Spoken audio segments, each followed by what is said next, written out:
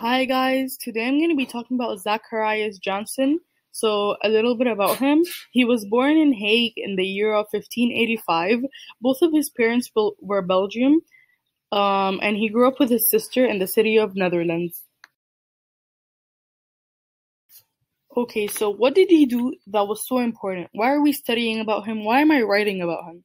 So, he's actually the inventor of the microscope instrument or tool. It helped Others, other scientists studied the natural world. This led to new discoveries, and his invention was a huge advancement in technology at the time.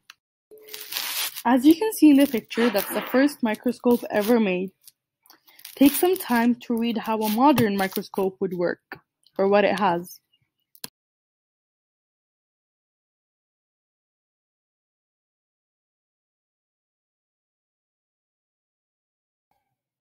How has the microscope changed and developed? Despite some early observations of bacteria and cells, the microscope impacted other scientists too.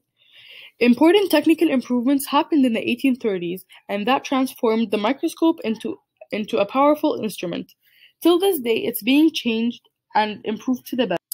Who was the first to use the microscope as a scientific instrument? Although Janssen was the one who invented the microscope, Antony van Leeuwenhoek was the first person to use the microscope as a scientific instrument. He used the microscope to observe a drop of pond water.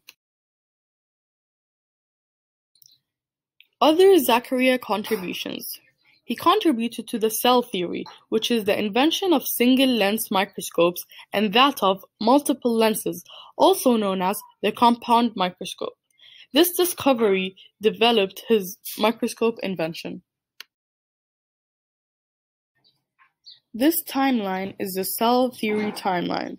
It's a timeline of when scientists explored cells and approved of them as living things.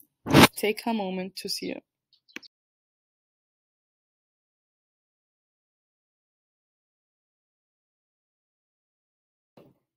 That's it for my presentation video thing.